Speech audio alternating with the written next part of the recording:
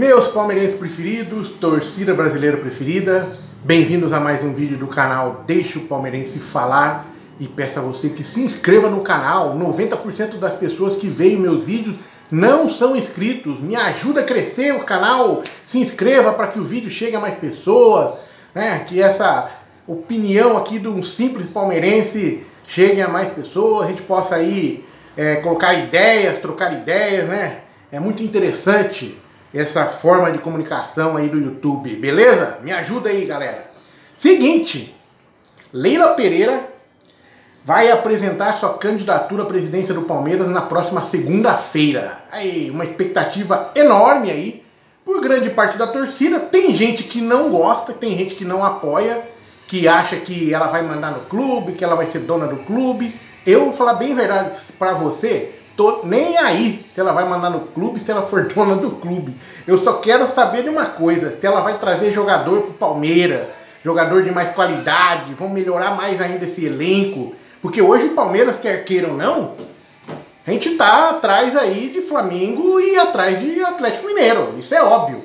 Tava tendo uma discussão agora na Fox aí sobre quem é o melhor time, Flamengo ou quem são né? Quem é melhor? São os dois melhores, né? Flamengo e Atlético Mineiro. Essa é a expectativa dos caras. Os caras estão esperando que nesta Libertadores, o Atlético confirmando a sua é, classificação com o River na, na próxima quarta-feira, na casa dele, né? Lá no Mineirão, é, enfrente o Flamengo, que obviamente é o cara que vai chegar na final do outro lado da chave, né?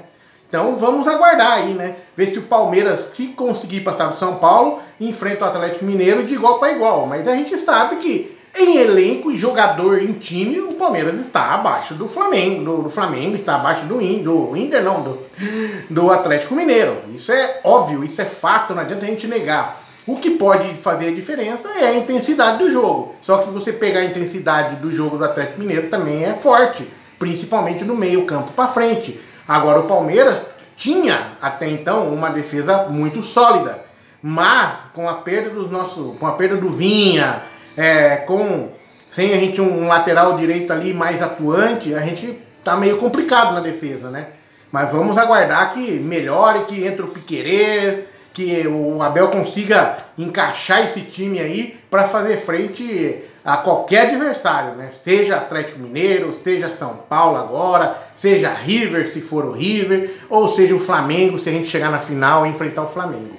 Eu só peço uma coisa, cara, vamos apoiar a Leila, porque, cara, time de futebol para ir para frente tem que ter money, né?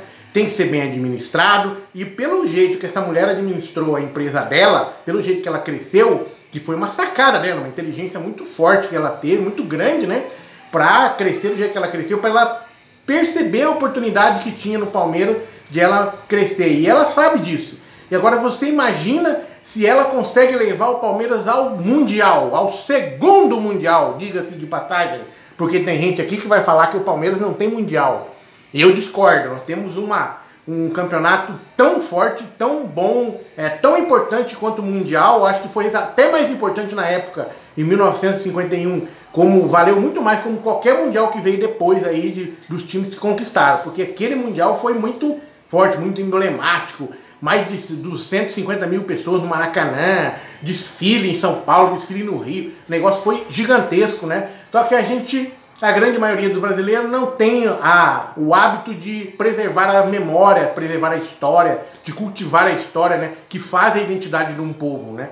Faz um povo crescer cada vez mais quando ele tem é, um, um, cultivo da sua história muito forte, né? Infelizmente o Brasil ainda não tem, mas uma hora vai ter.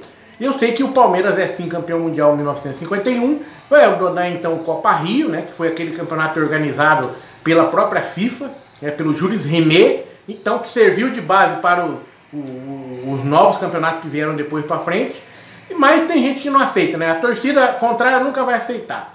Então a Leila Pereira vindo para o Palmeiras, a gente espera que com certeza nós vamos ter um time muito mais competitivo do que a gente tem hoje, né? Com algumas peças que falta agregar, não todos, né? Tem jogadores ali que merecem ficar no Palmeiras, muito jogador merece ficar, mas tem bastante também que dá para sair, não vai fazer falta. Se a gente conseguir trocar, trazer um jogador, oxigenar esse elenco, a gente vai ser sim campeão do mundo, de novo, com certeza. E com a Leila Pereira, ela sabe da importância disso. Você imagina o que, que a empresa dela vai crescer se conseguir um feito desse, patrocinando o Palmeiras e ela na frente do Palmeiras, né? Com certeza. Mas é isso, galera. Então, vamos aguardar aí os próximos capítulos desse negócio, né? A gente não sabe nem quem vai ser o opositor da Leila, não sabe nem se vai ter um, opositor, né? Eu só espero que ela seja eleita, porque compromisso com o Palmeiras a gente já viu que ela tem. Paixão pelo Palmeiras a gente já viu que ela tem. Então, cara, nada melhor do que uma mulher que tem, que é uma, uma grande empresária para comandar o nosso clube, nosso querido Palestra Itália. É isso aí. Beleza? Até mais.